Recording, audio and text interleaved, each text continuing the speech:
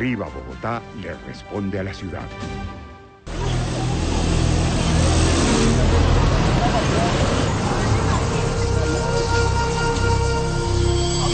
Balacera contrabanda de ladrones dejó un muerto y dos capturados. Pues yo estaba atendiendo a, una, a unos clientes y de repente sonó un disparo. Ya. Los delincuentes habían robado un restaurante en la calle 146 con carrera 13 y se habían llevado más de 6 millones de pesos.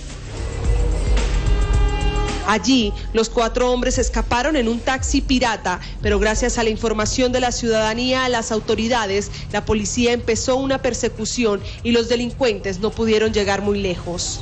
Que el señor no quería parar y el policía estaba diciéndole que parara, pero él no, no quiso hacer caso y opuso la fuerza. Entonces, yo creo que el policía disparó. En la calle 134 con Avenida Novena comenzó la balacera y uno de los ladrones cayó muerto, mientras otro resultó capturado por la policía metropolitana.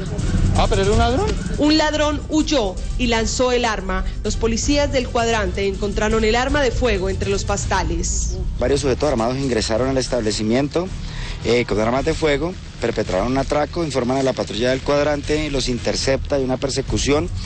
En la persecución hay un intercambio de fuegos, hay un delincuente dado de baja, un vehículo taxi inmovilizado, un arma de fuego dentro del taxi, el capturado eh, es el conductor y de los que salieron huyendo, de los tres que salieron huyendo, hay un capturado y uno en este momento que todavía se encuentra en persecución la policía. De acuerdo con la información del coronel Rubén Darío Castillo, el vehículo en el que huyeron los delincuentes era un taxi pirata y nunca había tenido tarjeta de operaciones. El conductor de este vehículo tiene antecedentes por lesiones personales y hurto agravado y calificado.